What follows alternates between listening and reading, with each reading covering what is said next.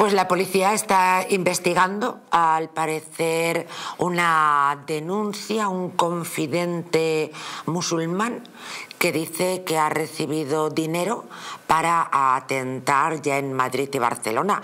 Vamos, eh, estamos hablando, eh, la propuesta era la semana que viene. Es una noticia que queremos comentar con el periodista Eric Encinas. Muy buenas noches. Muy buenas noches. Qué, Así es. inquietante, Eric.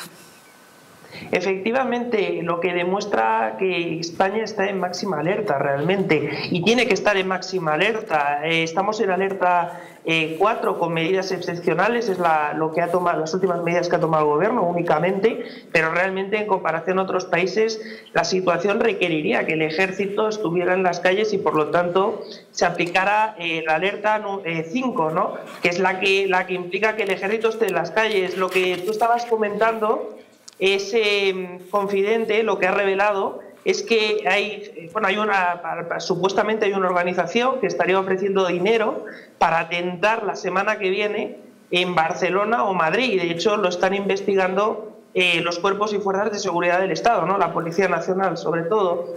También, aparte, hemos conocido este viernes que se han detenido a cuatro eh, personas vinculadas al terrorismo yihadista en Granada, Barcelona y Madrid. Esto se une, esto se une que reclamaban derramar sangre, reclamaban derramar sangre. Terrible. derramar, sangre de, lo que consideran los infieles de todo Occidente, ¿no? Porque no hay que olvidar que el terrorismo yihadista es ultra radical y lo que considera, eh, pues considera todo Occidente infiel y, básicamente una, eh, una, especie a la que hay que exterminar, ¿no? De, eso va así, en, su, en, su, en sus patrones ¿no? Ideológicos, ¿no? Y además de eso, no hay que olvidar que el terrorismo yihadista, el terrorismo del ISIS, quiere conquistar el Andalus, ¿no? Es muy importante para ellos conquistar el Andalus y va en sus reivindicaciones. Hay que recordar que el terrorismo yihadista en los últimos años lleva haciendo algún vídeo, y no hay que olvidar también el incremento de operaciones antiterroristas que ha evitado, han evitado atentados, en las que se han encontrado material que utilizan para promocionar ese tipo de actividades ¿no? con la excusa de reconquistar el Andalus. Y precisamente jamás, eh, ahora que hablamos tanto de jamás, jamás también ese, ese grupo terrorista tan peligroso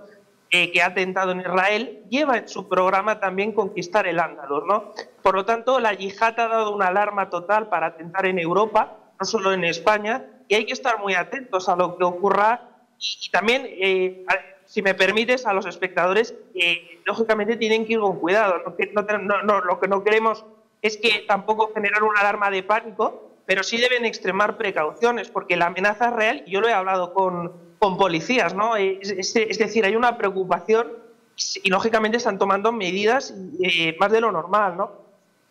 Tremendo, Eric. Muchísimas gracias por tu análisis, por tu participación y por tu recomendación aquí en el Mundo al Rojo. Que tengas una un extraordinario fin de semana. Al menos intentemos disfrutar, ¿no? Es lo menos que podemos hacer. Así es, buen fin de semana. También a la mesa.